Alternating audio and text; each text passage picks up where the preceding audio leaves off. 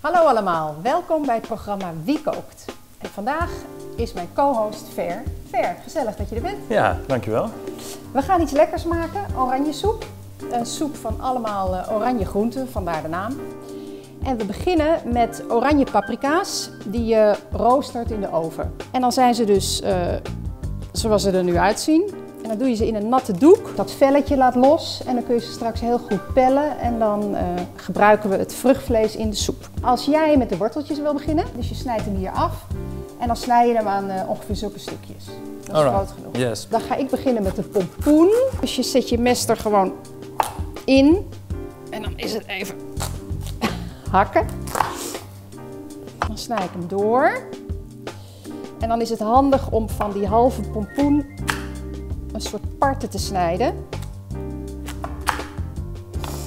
Die je dan vervolgens ehm, schoonmaakt. Door de pitjes eruit te halen.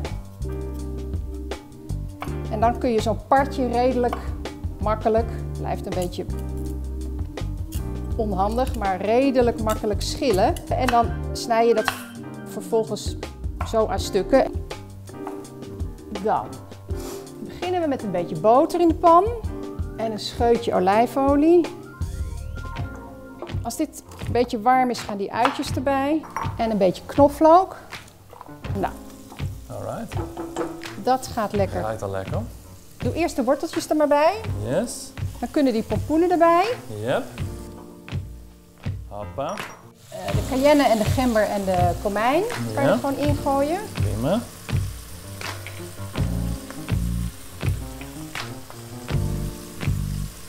Zo.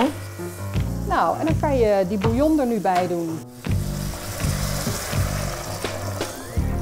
Nou, zet ik het vuur even vol hoog.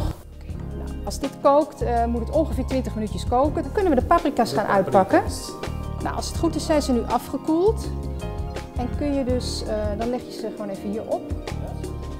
En dan kun je dat steeltje eruit trekken. Het wordt wel een beetje kliederig, want er zit allerlei vocht in wat nu binnenin Ja, ja, zit. Dat loopt eruit, maar goed, dat geeft niet. Nou, En als het goed is, kan je ze dus heel makkelijk nu pellen. Eh, dus je wil het schilletje eraf en je wil van de binnenkant, daar moet je misschien even een mes voor gebruiken, die zaadjes eruit schrapen. ja, ja, ja. En dan daarna eh, doen we het vruchtvlees bij de soep.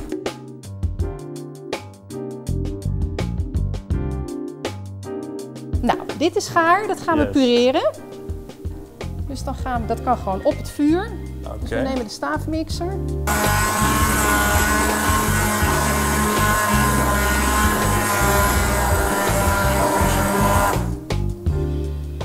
Zo. Ik doe er nog wat, wat limoensap door voor een beetje fris. Nou.